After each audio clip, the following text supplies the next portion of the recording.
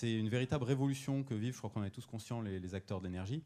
Euh, le premier, c'est que la valorisation de l'aléa et de la gestion de l'aléa de manière générale dans le monde de l'électricité est en train de devenir extrême.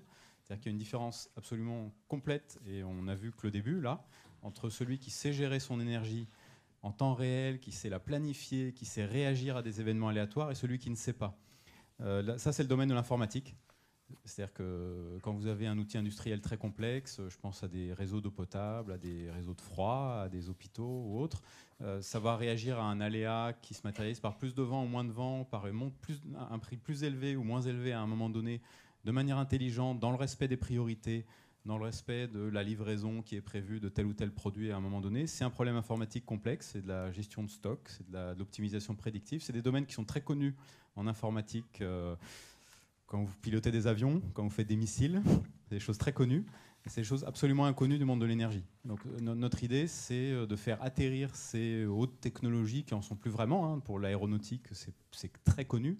Mais un automate d'usine, aujourd'hui, il n'a aucune vision de l'avenir. Hein. Un automate, un délesteur, bah, il connaît l'usine maintenant, l'usine dans 24 heures, l'usine dans 48 heures, il ne la connaît pas, il n'en a aucune idée.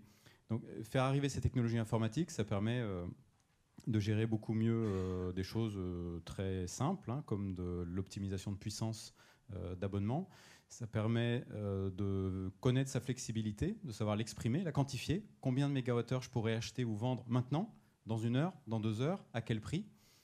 C'est pour ça que tout à l'heure, quand on m'avait demandé d'introduire la société, je disais notre valeur ajoutée, c'est dans la production de flexibilité. C'est être capable de dire à un industriel, vu l'état actuel de votre entrepôt de froid, il fait exactement moins 19 maintenant, vous pouvez acheter ton énergie et à tel prix, et vous pouvez la vendre et à tel prix. Donc ça, c'est pas de la science-fiction, c'est des outils informatiques qui existent.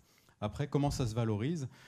Euh, voilà, je reprendrai un petit peu ce que, ce que disait Franck Rabu. Euh, vous pouvez le valoriser en J-1. Hein. Vous, vous ou votre fournisseur, vous voyez que le spot euh, est très très très élevé. Votre fournisseur a déjà acheté des blocs à un tarif moyen à long terme, 80 euros, et le spot est à 1000 bon, bah, vous vendez ce bloc de non-consommation que vous connaissez, puisque un ordinateur quelque part vous a dit que vous disposiez de ce bloc-là, votre fournisseur leur vend à 1000, vous faites top là, vous faites moitié-moitié et vous récupérez 500 euh, euros. Ça peut se valoriser sur les marchés de l'ajustement.